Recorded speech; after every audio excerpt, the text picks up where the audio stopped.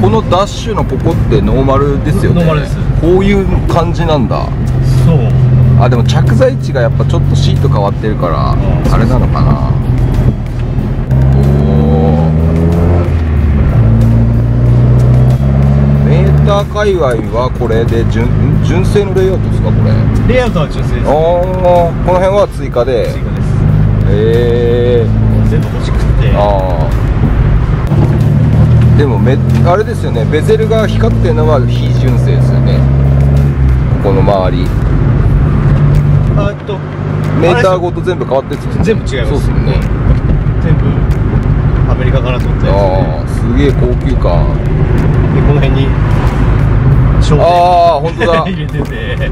おお凝ってんな だ全部これカスタムセミカスタムなんて言うんだろう。文字うん文字体とかう。んフォントとかう。スケールとかう。ん全部選べるんですよ。へえあそういう選べるやつなんですか？そうなんです。へえ1200キロにして回転は1 11万ですげえ300だろうが1万2000だろうがあマイルだろうが何でもできるあへえでイルミネーションの色とかあ針の色色も選べるんですか？選えー、これちなみにイルミは何色ですか？ブルーです。お結構エエロいっすお夜はじゃエロい。これがもともとピコットの、まあ、既製品なんですけどこれがイルミがブルーだったんで本当はねこれも揃えればよかったんですけどおー。めんどくさいね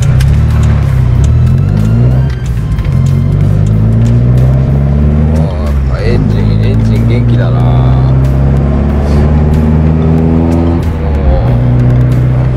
おーこの辺のピラーの細い感じとかもやっぱ旧車だよな。はいな。う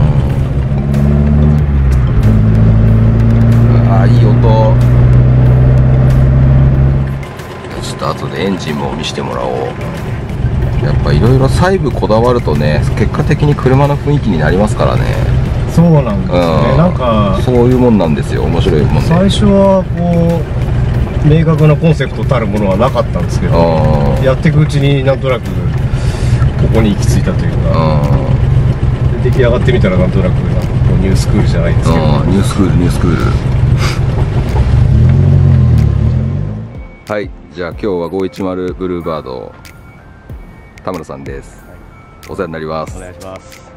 これは年式は何年式ですか？えー、1971年昭和46年。おお71年、なんでまたこの510にまあ昔から古い車は好きでなかなか乗る機会がなくて。たまたま86乗ってた時かな？えー、あの86乗ってたんですか田村さん？でも3ヶ月だけだけど。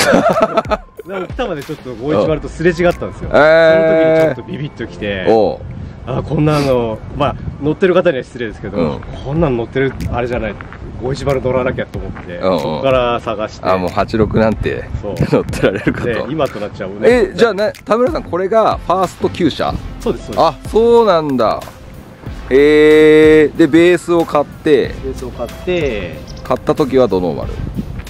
そうです。えっ、とたまたまエンジンオーバーホールしたばっかりでうん。期間は調子良かったんでうん。外装はボロかったんですけど、うん。エンジンやって間もない時に手放すっていう話を話しちゃったんで、うん。あ期間はうんいじることないだろうと思って、うん。うんで外装に着手したと。外装ももう着手するまでしばらくかかりましたね カスタムが終わったのが何年前でしたっけ？8年前ぐらい？そんな前じゃない？そうですね。この形にしたのがで着手するまではどのくらい乗ってたんですかえっとねなななんて言ったらいいですか？最初は普通にの普通にカスタムしてたんですよ。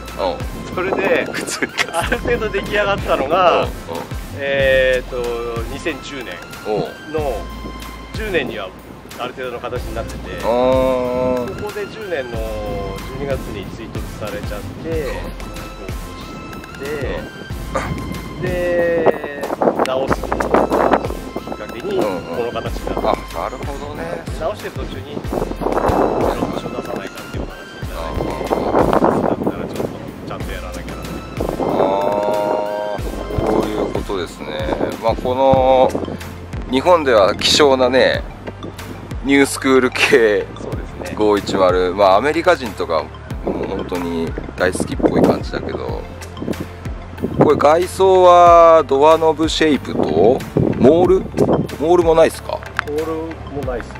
このレリーフが入ってるとこが本来モールなのかな？いやこれはないですねもともとない。ここに入っうん。ここに下にこのラインについてるけあど、ーをなくしてドアノブもシェイプしてはい、でこのレリーフが入ってるシルバーリーフ。とねおしゃれ。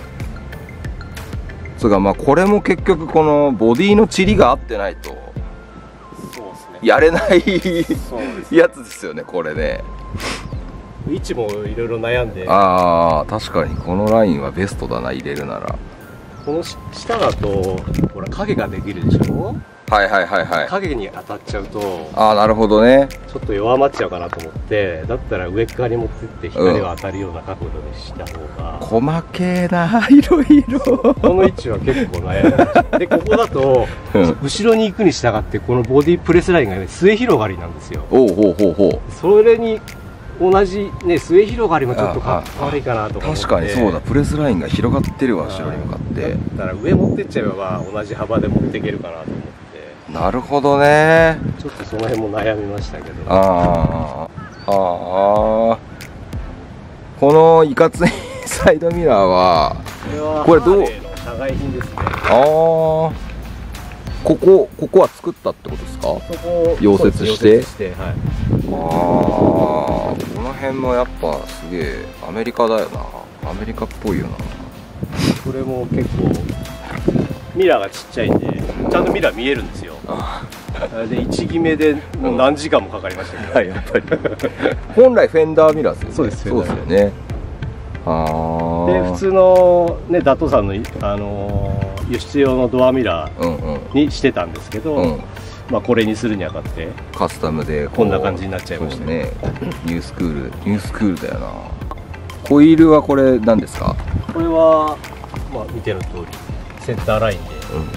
あんまり見ないかやっぱりね。ニュースクールデザインですよね。セイバーっていう。やつうんうん。友達がデッドストックで持っててそれ譲っていただいて。古いホイールなんですか？古いですね。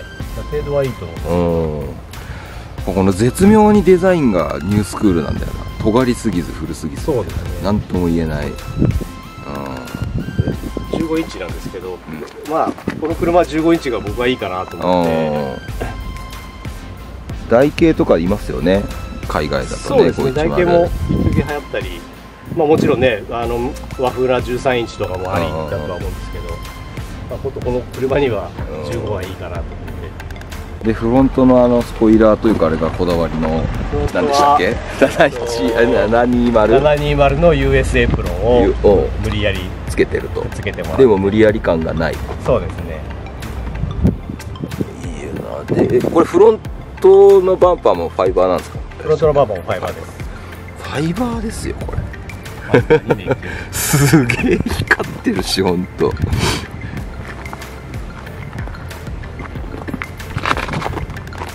でさっきも聞いたけどナンバーがリロケートされてて。そうですね。正面についてるものを下に本当は本当はここにいるってここについてるのを、えースムージングして下げてこっちにつけて。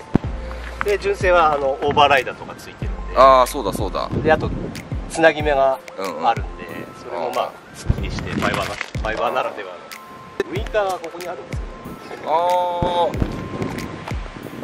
けどなくしちゃいました。シェイブしてフロントのここだけになってそうでするってことですね。はいあー。じゃあ続いてインテリアをメーター周りがかっこいいんだよな。メーターはアメリカ製のもので。これ、えっと、どうやって開けたらいいですか？ドアノブがないからねアメリカ製の。で一応車のショーネームがこはい。の入ってるやつ、クリスタルバード。クリスタルバード。クリスタルバード入ってる。すげえこれは別にあれですもんね。510用っていうんじゃなくてまあこう全然もう汎用ですね。合う径を探してはい。つけると、はい、あとスピードメーターなかなはかワイヤー式なんで、ああなるほど。あのな選べないんですよ、うんうんうん。これは GPS なんですよ、ワイへえヤーも何も関係ないんで。ハイテク。すごー。そうなん取り付けもだ楽だし、まあ、GPS なんで車検がダメなんですけどあとトンネルの中とかは。ああそっかそっかそっか、はい。ええー、これすごいな。なんかよくわかんないけど04とかもなんかじ測ってくれるらしくて。勝手に。勝手にはい。こう絶妙にねあれですよね。こう新しさと古さが融合してる感がある。ですね。まあ賛否両論がありますあけどは好きだなこういう気配の車は。えーでシートがレカロの。はい。えーこれあれですよね。張り替え済みだったのを買い。そうですそうです。でこれに合わせて僕がこの後ろのシートと、はい。えードアパネルを作ったというね。懐かしい。8年前。そうだ。あれ？タイヤハウスのカバーも作ったんでしたっけ？そうあそうだ。もう全然忘れてる。そうだよな。そうだ。作った作った。結局ね大塚さん曰くフロントのフスピーカーボックス、うんうん。えーからリアのタイヤのハウスにかけてうん白ステッチでデデザインしてうんうんうん。一貫性を出そうっていう、はいそうだそうだそうでしたね。そんでこう見切りのラインをねはいあのーダッシュの下にこう合わせるというね、はいあれですね。そうだ。あとその僕渾身だったのは僕的にはこれなんですよ。いや僕もそう熱望してた。取って。これねこれ確かにこれいいよな。未だにいいなと思う、うん、なかなか絶対。だからドアパネル変えるにあたってそれはもう ぜひお願いしたかったところ。で売ってないしこんなの。そうです。なんかフルッチーねなんかプラスチックだかなんだかわかんないようなくっつけてるような。あー。だやっぱ結構このねこういう小物こういうのとかでなんかこうね出ますよね。カスタム感っていうかね。細部までやってる感が。この年代はテールはレッドテールですか？そうです純正でそうですか、はい。そうだな。中期になるのかな。この後オレンジが入ったりしてますねあー。まあ初期型中期型、うん。後期型。これは中中期。はい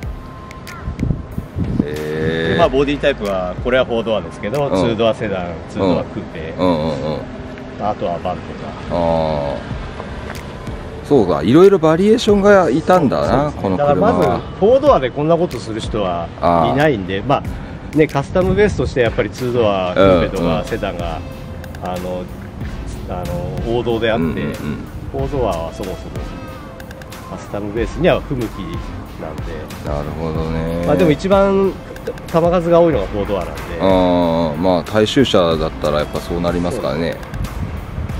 そうか。じゃあちょっとエンジンを。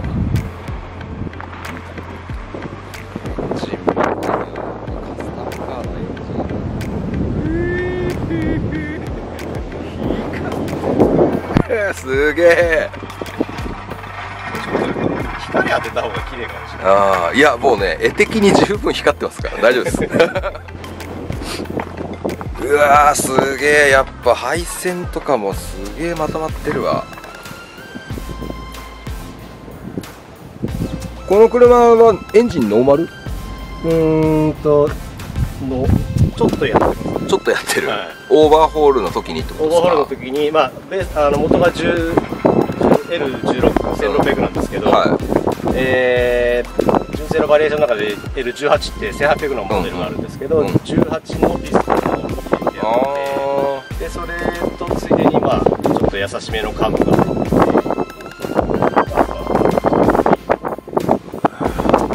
てね俺のビートルが恥ずかしくなるな本当にこの光り方は。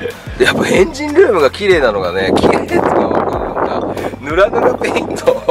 こんなでしたっけ？そうです。最初大塚さんとか持ってった時に大塚さんがテンション上がったのがよく覚えてます。そうか。こんなにぬらぬらだげえこれ何色ですか？ちなみに。これなんて言えばいいんですか？この色。えっとマジョーラじゃないし。まあパールですパール。よねパールのブルー。ブルー。で当時のあのドリフトの派手な車とかうんうん。の外装に使うような、あー。あはー言われてみたら確かにそうかも、はい。ラジエーターはこれメッキをメッキじゃねえ塗装を剥いであれです。い、これもこれはまあ割と最近まあ普通に黒塗りだったんですけどパリパリ剥がれてきちゃったんで。昔の車のラジエーターはねこの技ができるんですよね。真鍮だからね。でもともとはもうもっこりしたラジエーターなんですよ、あそうなんだ、はい、それを上だけ張り替えて、えれー、作った時に。じゃあラジエーターもカスタムしてるってことですか？そうですね。元あの中身も3層になってるしまあそれは前のオーナーがやったんですけど。じゃあ熱対策も C の。あでもファンは電動になって電動化してますね。ああ、はい。すげえ光ってるよマジで。めっちゃ綺麗。キャブはソレックスの44 44です。これまあポリッシュになるのかな？ハンドポリッシュです。ね田村さんポリッシュですか、はい。ちょっとやっぱこういう光ったエンジンってあのなんかちょっと狂気を感じますよね。マジで。あとインマニも削りましたね磨き。ああこの梨地っぽいやつを磨いたってことですよね、削ってね。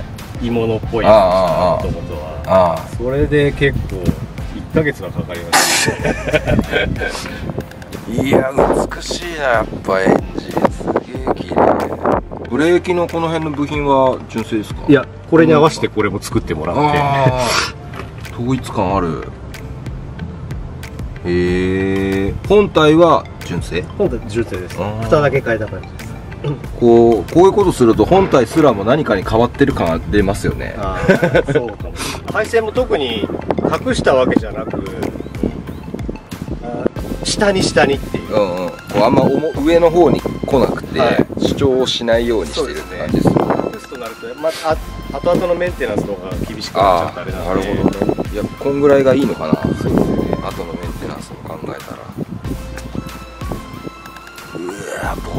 トの裏とかだってもコネットの裏はメッキ調ペイントうねえ。なんすかこれ。この感覚感じがちょっと動画だと映らないけど。これすげえよ。映ってんもんなエンジンが。ここに。おおやっぱショーカーはすげえな。あとこれも棒じゃなくて ダンパーにして。あああそうか。棒でね止める普通棒だよ。棒キャンセル。はい。これ当然この辺の穴って埋めてるんですか？埋めたりはいパテ埋めしたり。そうっすよね、はい。ちょっとリアトランクも映していいですか？よーし。燃料タンクはここの位置にもともといる。純正ですね。純正の位置、はいこんなむき出しなんですかもともと。なんかパネルかなんかで本当はなんかうんボードがあるみたいですけどまあもともとなかったし。あでも急行はこれ、うん。こっち。ああやっぱスムージング外のやつをして、内側にはい。移設、は電池ポンプがいいの。燃料タンクもこれもちろんレレストアというか塗ってる。で色のメッキ調ペイントですね、最初はボディ同色に塗ってたんですけうど、いろいろ、えーここのちょっと不都合があったりして、うん。下ろした時にうん。気分転換でメッキ調に塗りああ直してなるほどね。でエンジンルームにいるはずのバッテリーがここに来て、はいそうです。乗ってますよ奥まで、スペアタイヤうん、のあれも取っちゃってああここもスムージングしたと。じはいゃあ本来こんな真っ平らじゃなくそうなんです。ここにタイヤがいるってことですスペアタイヤがいるはずなんですけど。まあそぎ落とすっていうねなんかはい。カスタムの、はい。第一条件っていうか、はい。じゃあスペアタイヤはいないってことですか？いないです。いないです。でも一応、えー、なんだコンプレッサーと、うん。なんていうんですか？パンク修理剤みたいなのはああ生還できるように、はいこれ道走っててトラブルに見舞われたことあります？いや起きたのはないっすね。動いて帰っては来てる。来てます来あてます。ー。我々し滋賀とかも行きましたあちこちイベントは行ってますうんうんうん。まあ トランクが高速道路でトランクが開いたとかそのぐらいですかね。まあ笑って話せるレベルの。ね ああとこれ車高はどうやって？車高は、えっ、とフロントは車高調フロントは車高調、はい、うんリアもうん。コイルオーバー化してるんで、えええー、まあ車高調ですね。ああじゃあ前後車高調の、はい。何度かこれ決め直しました？そうです、ね、組んじゃ下ろしてみたいなことやったりとか。まあうんでもロットショーに出した時にロットショーのパシフィコの中で、うん。このこの高さにして。あそうなんだ。それっきり変えてないですへえあ乗っていく時はちょっと上がってもうちょっとあと2センてチぐらい高かったんですけどああ飾るにあたって2センチぐらい下げて、うん。でそれっきりですね。そのサクッとリアコイルオーバー化してるんでって言ってましたけど簡単にできるもんなんですか？えー、ピットが売ってるんで、マジで？まああの専門店みたいなところです、へえ、はそれ日本の？い、日本です。へえ。これ需要があるんですか？コイルオーバー化する。好きな人しかねあれでしょうけど。すげえな。すげえお店があるんだな。だから随分それによって乗り乗り心地も良くなってああ後ろも踏ん張るようになって。へえ。じゃあもう走りの面でもいいですね。いい感じになったと、同じ510乗ってる仲間とかが助手席乗ったりすると、うん。やっぱ全然違うって言いますあよ、あやっぱ同じ車乗ってる仲間いるのは結構でかいっすよね。でかいですね。ね。仲間いなきゃできてない。ああいいも悪いも分かるし。フォーカスとは。ヒルズフォーカス。どういった活動ですか田村さん主に写真が好きなんで、はい。写真撮ってるんですけど。まあねこんな車乗ってることもあって、うん。古い車が好きなんではい。仲間の車撮ったりイベントではい。集まって車を撮ったり、でやっぱり車走ってなんぼだと思ってるんで、うん。走ってる車を撮るのが大好きで、ああなるほど。はい。まあ、こう躍動感ある。うんうんうん写真を撮っちゃ、まあ、ブログなり、うん。なんなりに載せて。ブログはこのクルーズフォーカスでサクッと出てきます出てきますね。はい。じゃあ皆さんググってくださいこれ。あとなんだっけ？インスタか。インスタにもいますね。インスタどうでもいい。あと写真も買うことができる。あもうもちろん言っていただければ。今その辺ちょっと煮詰めてるああなるほど。じゃあブログ気になる方は見てもらってアクセスしてもらう感じでまあよく奥多摩とかは定期的にあるんで、ああ名まあしょっちゅ物う名物カメラマンになってそうなんとなくいつもいる。これ多分見てるこれをこの動画見てる人もあの人かってなってんじゃないですか。ねだからね。あのコーナーにいる人だ。そうなんですでも最近はもう一ところにとどまっていないんで、あっちこっち動き回って撮ってるんであやっぱ絵数も欲しくなってきちゃってあなるほどね。ステッカーとかも売ってるんでよかったらうんうん。買っていただければ、クルーズフォーカスステッカー、はい。じゃあチェックしてもらって。しかし本当にあのゴーストフレームさ見えないですね。そうですね。ちょっと心を清めていただかないとな。えこれどこに入ってんでしたっけ？こっから下だっけ？そうです。こっから下に実はこれいるっていうねフレームスが左右で違うデザイン。嘘だろって多分思われてますよ。っていうか本当カスタム業界にいない人はあのそのゴーストフレームスの意味すらわからないと思うんで。ね。まあね見えなきゃ見えないだあけあかっこいいという、まあ見える人には見えるゴーストフレームス。あれ前のクルージンの撮影の時は映ってましたっけ？ゴースト。映ってないですか？どうやって撮ればいいんだちょっとあの撮った写真があるんで。はい後でちょっと送ってください。で左右で違うデザインで入ってるんで。あどっちがどういうデザインなんですか？えー、右がとどっちかがトライバルで、うん。どっちかが普通ので。もうオーナーすらも見えてないから忘れるっていう。ゴーストフレームスならではの楽しみ方といいますか。ああまあそうっすよね。オーナーが分かればいいみたいな。んでも外装で結局ドアノブがなくてみえっ、とウインカーがなくてぐらいだけどやたらつるっと見えますよね。あとはまああのー、なんていうんですかつなぎ目っていうんですか、うんうんうん。は縦埋めしてうんうんうん。ツルツルにしちゃってますけど。だからあれなんだな。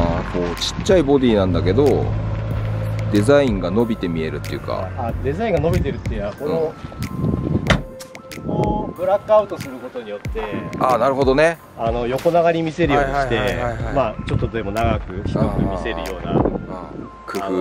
の意識はしてますけ あどあこれよくメッキのモールが入っちゃったりあと2ドアセダンとかだとボディ同色だったりするんですよ。ああそうするとこうやっぱり、なるほど。そこにこう境界ができて、はい。そうするとちょっとデザインが詰まって見えちゃうんだそうななんですよね。ちょっと背が高く見えるというかなるほどね。なるべく横に長く薄っぺらく見せるためにブラックアウトして、うん。うんいや効果効果出てますよねやっぱそうね。そう見えるもんな。だから本当はあれですよねおじいちゃん乗ってるドノーマル510と並べてみたいですよね。あれあれこれもこれもっていろいそうだな。うん。分かりにくいんだよな。なんまとまりすぎちゃってるし。自分でももう分かんなくなってこれがスタンダードだと思っちゃうから。多分ねこれ見てる人はやっぱああいうドアノブスムージングとか意味不明だと思うんですよ。これどうやって乗り降りするんだっていう話になると思うんですけど実際はあれですか？どうやって？は実際は見ますか、はい。リモコンで、い。リモコンで。ハンドアまで開くんですよ。ここまで開いてあとおは手で開けるという。こああなるほどね。こまで開く。はいはいはいはいそういう、だうん、あのー運転席しかリモコンはないんでああとの3枚は中から。ああなるほどなるほど。まあでもセキュリティ的にも。そうですね。で あの、まあ、そのセキュリティがあるおかげで、うん。ここにある普通のバンっていうロックもああない。シェーブしちゃって。なるほど。あ本当だ。えー、そのリモコン効かなくなった時のエマージェンシーはあるんですか？あります。一応ワイヤー引っ張ってあるんであそれ教えちゃうとね開ける人がいるから。あ じゃあ、あのードアノブスムージングしてポップドアになってる人は大概そのエマージェンシーも仕込んどく。あると思います。うん。あどうぞ。どうぞ。好きな人が現れました。好きな人が。でも意外と走ってて写真撮られたりうん。あ声かけられたり多いですね。えー、大丈夫ですよ。はい。好きなんですか？おお出た。すそうですよね。旧社会は嫌いなんですけど、うん。旧社が好き。ああなるほど。え今なんかお乗りになってるんです。か乗りたいんです。あれで。キャブ車いやキャブ車。あ昔乗ってて、はい。昔 LPO したんですよ。あ復活したいな。復活してください。大体こんな感じでいつも 絶対声かけられるよな。奥多摩とかよくみんな集まってます。そうなんですかはい。第3日曜日に集まってます。えもう100台200台来ます。よはいあそこはすごいですよね。えあそこ第二駐車場ですよね。そうです。あそこ旧車でいっぱいになりまあ入りきれるんですか？すごい。す お好きだったら行った方がいいと思います。そうですね。慣れてるんです週末ぐらいですね。はい。今は通勤とか使わないです